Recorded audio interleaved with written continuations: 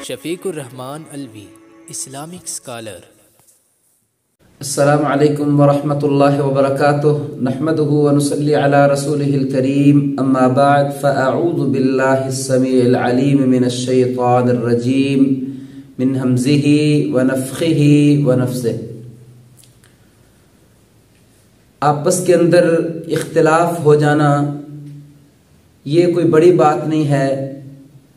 हर इंसान अपनी एक राय रखता है और बाज़ अवत ऐसे होता है कि इख्तलाफ राय की वजह से मामला थोड़ा सा सख्त हो जाता है और तलख कलामी हो जाती है।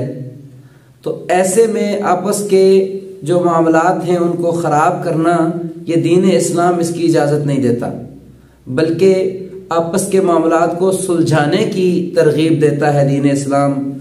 और अगर कभी ज़्यादा तलख कलामी हो जाए, ज़्यादा गुस्सा आ जाए तो अगर नाराज़गी बन जाए तो तीन दिन से ज़्यादा नाराज़गी नहीं होनी चाहिए।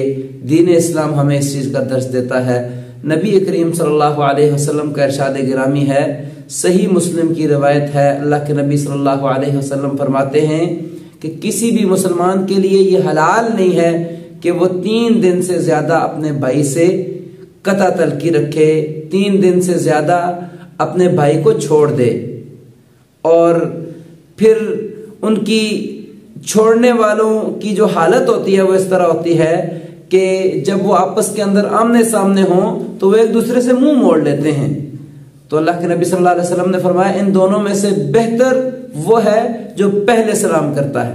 दीन इस्लाम की आसानी देखें कि इंसान को गुस्सा आ जाता है उसके दिल के अंदर बात चली जाती है, वो नाराज़ हो जाता है। लेकिन दीन इस्लाम ने ये नहीं कहा कि फ़ौरन उसी वक्त सुलह कर लो। क्यों? कि दीन इस्लाम हमारी फितरत को समझता है कि इतनी जल्दी गुस्सा ठंडा होने वाला नहीं है, इतनी जल्दी दिल से बात निकलने वाली नहीं है। तो तीन दिन का मौका दे दिया कि तीन दिन के अंदर अंदर अपना गुस्सा ठंडा कर लें और फिर आपस के अंदर दोबारा से ताल्लुक बहाल करें। और जो शख्स तीन दिन से ज़्यादा अपने भाई को छोड़े रखता है, नबी करीम सल्लल्लाहु अलैहि वसल्लम का इरशाद है कि सोमवार और जुमेरात के दिन अल्लाह के यहाँ इंसानों के अमाल पेश किए जाते हैं और हर इंसान के अमाल को अल्लाह ताला देखते हैं। अगर नेकियाँ हैं तो उनको कबूल करते हैं, अगर बुराइयाँ हैं तो उनको माफ़ करते हैं अल्लाह ताला। लेकिन जो दो लोग आपस के अंदर नाराज़ हैं कता तलकी किए हुए हैं तो अल्लाह ताला कहते हैं, इन दोनों के अमाल को मुझसे दूर ले जाओ, यहाँ तक कि आपस के अंदर सुलह कर ले। देखें, गलतियों का माफ़ होना, नेकियों का कबूल होना तो बात की बात है, लेकिन अल्लाह के सामने पेश भी नहीं होते।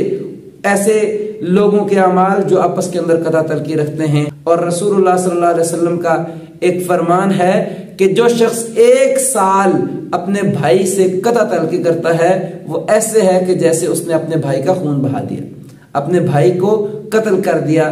तो लिहाजा इख्तिलाफ हो जाना बड़ी बात नहीं है, लेकिन इख्तिलाफ को ख़त्म करना ये लाजमी और ज़रूरी है। और यही हमारा दीन इस्लाम हमें दर्ज देता है। अल्लाह ताला से दुआ है कि अल्लाह ताला हमें सही मानों में कुरान और सुन्नत को समझ कर इस पर अमल करने की तोफ़ी दे। अल्लाम वरहमल वर्का